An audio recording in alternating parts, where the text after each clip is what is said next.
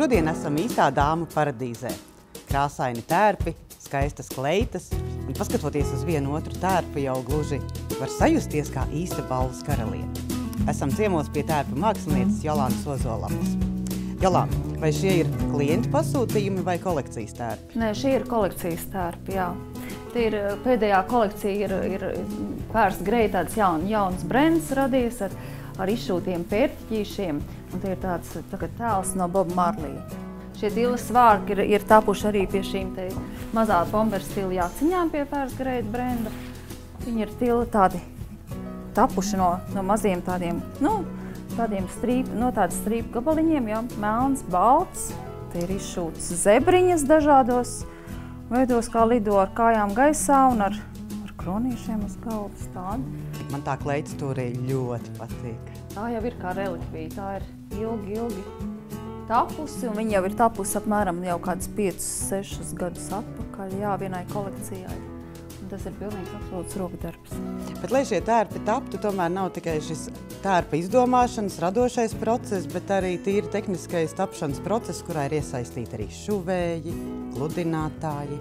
Esmu palūgusi Jolantu Ozolu ap ar savu komandu izmēģināt jauno Filips Tvaika sistēmu. Kā jums gāja? Šis gludeklis ir ļoti, es teiktu, labs. Filips ir, ir tiešām uzražojis kaut ko tādu, nu, mājas, mājas tādu priekš mājas gludināšanas, un arī droši vien tas varētu noderēt daudziem veikaliem, kas uh, tirgo tērpus un vajag, piemēram, nu, vajag steidzami pārgludināt, kad atnāk tērpi, ja. Mums priekš, protams, profesionāli gludināšanai ir, ir citi savādāk gludekļi, ja. Bet uh, es katrā ziņā, es priekš mājām sev pati gribētu tādu gludekli iegādāties, un uh, viņš ir gan viegls un ērts, un ātri uzsilst, tur divas minūtes un jau ir tvaiks.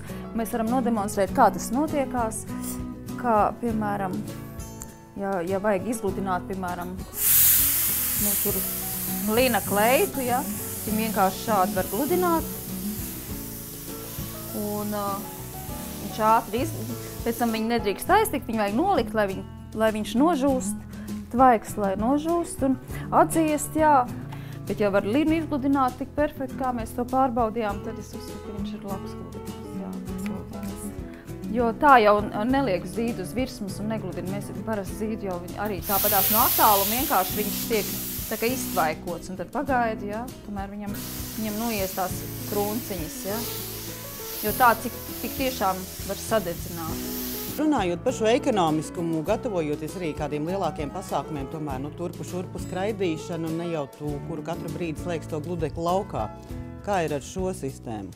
Nu, viņš pats izslēdzās. Līdz ko tu viņa nekustina, viņš netiek kustināts, darbināts, tā viņš eh, izslēdzās.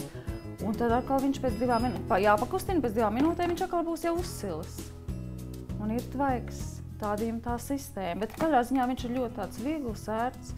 Es domāju, maisaimniecēm tik tiešām ideāls ir kādiem lieliem pasākumiem, kur jāgludina tērpi, jāņem līdzi, jo lielo preses galdu jau ne, ne, ne, neņems līdzi ar visu, ar visu gludekli.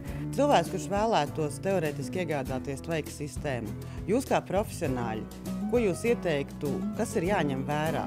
Tas, ka viņš ir eko, tas, ka gludeklis ir viegls, ja, ka viņam ir tas tvaiks, tvaika padeva varbūt tās nu, dažādās temperatūrās, ja varētu gludināt arī to ņemt vērā.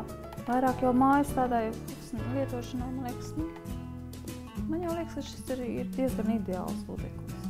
Nu, tāds dizains ir skaists. Rokā ir ērti turēt, jā, viņš tāds viegls. Man jau liekas, jā, jā, te ir tāda poga, kas fiksē, lai nenokrīt. Viņš ir ļoti viegls un tāds mazliet kosmisks, tāds smuks, tāds violeta rozā. Katrai maisāmniecei būs prieks gludināt savus savas lietas.